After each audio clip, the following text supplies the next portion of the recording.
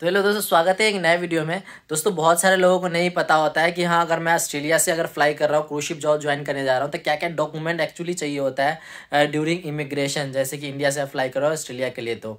USA के लिए मैं कई बार बताया है कि आपको क्या क्या डॉक्यूमेंट चाहिए बट ऑस्ट्रेलिया के लिए फ़र्स्ट टाइम मैं भी फ्लाई कर रहा था तो आप लोग बता देता हूँ कि आपको डॉक्यूमेंट क्या क्या चाहिए।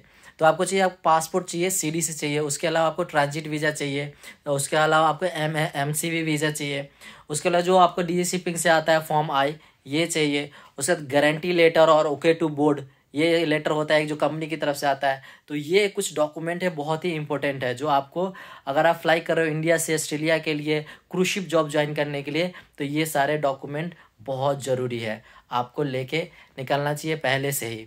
इसके अलावा और भी आपको जो सपोर्टिव डॉक्यूमेंट होता है, जो कंपनी की तरफ़ से मिलता है, वो भी आप कैरी कर सकते हो। नेवर नो एयरपोर्ट पे आपको कौन सा डॉक्यूमेंट मांग ले। ठीक है दोस्तों? तो आई होप आपके लिए ये वीडियो इन्फॉर्मेटिव रही होगी।